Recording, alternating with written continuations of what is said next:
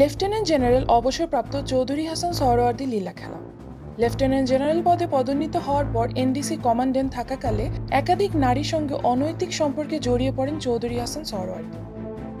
এনডিসিতে পরিচালিত বিভিন্ন কোর্সের সঙ্গে বিদেশে ভ্রমণকালেও তিনি অনেক মেয়েকে নিয়ে চলাফেরা করেন এবং বিভিন্ন মাধ্যমে তার এই অশোভনীয় আচরণ মেলামেশার ছবি কর্তৃপক্ষের গোচরীভূত হলে কর্তৃপক্ষ বিব্রত হন এবং তাকে বিভিন্নভাবে উপদেশ দেওয়া হয়।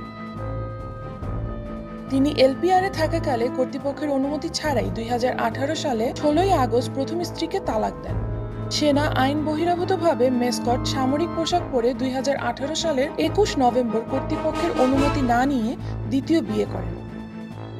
কিন্তু তিনি বিয়ের আগেই মিডিয়া ব্যক্তিত্ব বর্তমান স্ত্রীকে নিয়ে দুই হাজার আঠারো সালের তিন নভেম্বর থেকে একই বাসায় অনৈতিকভাবে অবস্থান এমনকি তিনি বিয়ের আগে মিডিয়া ব্যক্তিত্ব বর্তমান স্ত্রীর সঙ্গে নিয়ে পহেলা বৈশাখ উদযাপন, সাজেক রেজর্ট খাগড়াছড়িতে অবকাশ যাপন, বিভিন্ন সময় ভারত, থাইল্যান্ড, আইসল্যান্ড, নরওয়ে ও সুইজারল্যান্ডে ভ্রমণ ও অবস্থান করেন, যার সচরিত্র আলামত সামরিক ও অসামরিক পরিমণ্ডলে এবং সামাজিক যোগাযোগ মাধ্যমে ব্যাপকভাবে সমালোচিত হয়। সরকার ও সেনাপ্রধানের সমালোচনা করে চোদ্দই জুলাই নিউ ইয়র্ক নিবাসিত সাংবাদিক কনক সারওয়ারের সাথে ফেসবুকে একটি সাক্ষাৎকার দেন সরওয়ার্দী। সাক্ষাৎকারে কথা বলেন ক্ষমতাসীন সরকার, সেনাবাহিনী প্রধান, জাতীয় নির্বাচন নিয়ে কেলেঙ্কারি গুণ খুমের ভয়াবহ সন্ত্রাস আর প্রতিবেশী দেশ ভারতের এ দেশের ইস্যুতে সরাসরি হস্তক্ষেপের মতো নানান স্পর্শকাতর বিষয় নিয়ে। আর তারপর থেকেই নিজের জীবন নিয়ে শঙ্কা প্রকাশ করেন তিনি।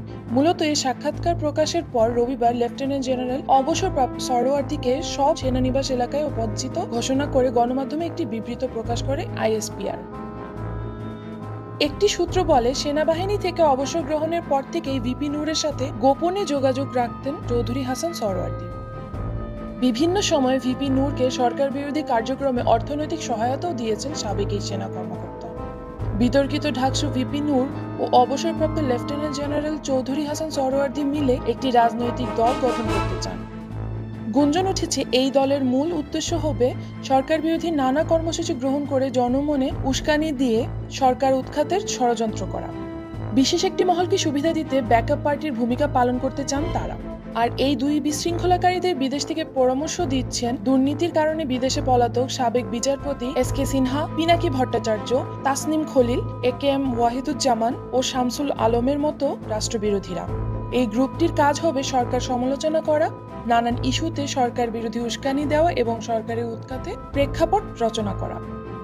মূলত অযোগ্যতা ও বিতর্কের কারণে সেনা প্রধান হতে না পারার আক্ষেপ থেকে রাষ্ট্রীয় ক্ষমতা দখল করার পয়তারা মেতেছেন সরোয়ার্দী। এজন্য অপরাধ সঙ্গীদের এক ছাতার নিচে নিয়ে এসেছেন তিনি। বাংলাদেশ সেনাবাহিনী একটি গর্বের জায়গা। চৌধুরী হাসান সরোয়ার্দি একজন বিকৃত মানুষ যে কিনা পরনারীর প্রতি আসক্ত। তার মুখ থেকে সেনাবাহিনী সম্পর্কে এরকম মিথ্যাচার আসলে মেনে নেওয়া যায় না। নারীলোভী এই ভণ্ডের বিচার দাবি করছি।